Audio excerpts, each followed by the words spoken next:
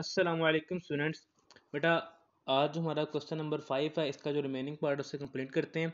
आपने first property से पहले सेटिस्फाई करना है De Morgan law A union B का whole complement equals to A complement intersection B complement left hand side solve करते हैं। मैंने आपको बताया था कि कम्प्लीमेंट का मतलब होता है, आपने उस पूरी वैल्यू को यू में से माइनस करना होता है। यू मीन्स यूनिवर्सल सेट तो आपको यू की वैल्यू भी दी गई है ए और बी की वैल्यू भी आपको बेटा दी गई है। सबसे पहले आप क्या करेंगे? ए यूनियन बी फाइंड करेंगे। आपको शो हो रहा है ए की वैल्यू आपके पास एम्प्टी सेट थी। आप एम्प्टी सेट लिखें या फिर फाइव लिख लें, ठीक है?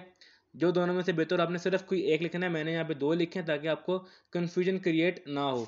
यूनियन जो आपके पास बेटा बी की वैल्यू है, वो आ जाएगी। तो यूनियन में क्या होता है? आपके पास तमाम एलिमेंट्स आ जाएँगे। मैंने फाइव लिखा है two three five seven and so on फिर आपने क्या करना है?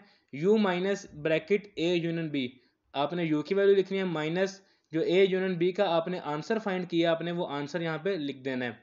अब माइनस किस तरह से करते हैं? जो वैल्यू यू में हो और जो दूसरी सेट है बेटा, उसमें ना हो। अब वन आपके पास यू में है, दूसरे में नहीं है तो आपके पास वन आ जाएगा।